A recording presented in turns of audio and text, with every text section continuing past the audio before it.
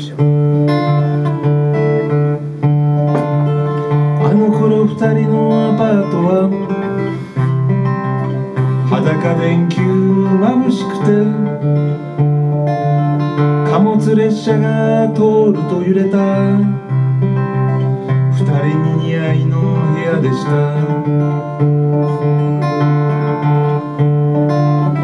覚えてますか？寒い夜。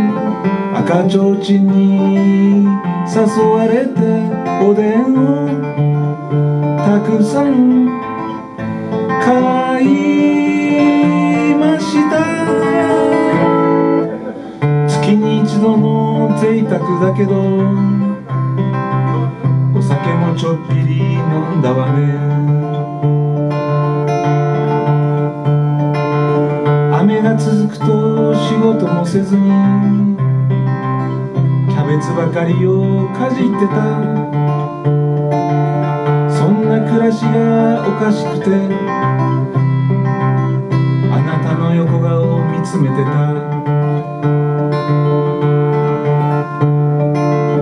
あなたと別れた。雨の夜。公衆電話の箱の中膝を抱えてきました。生きてることはただそれだけで悲しいことだと知りました。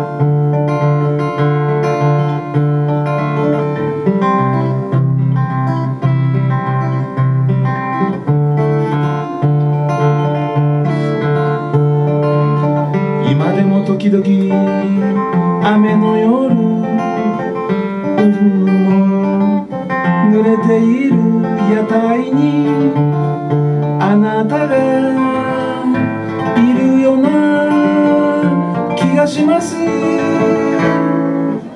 背中丸めてサンダル履いて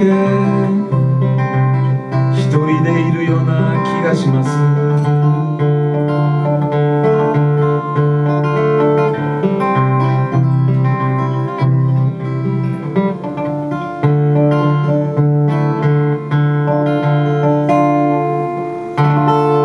失礼しました。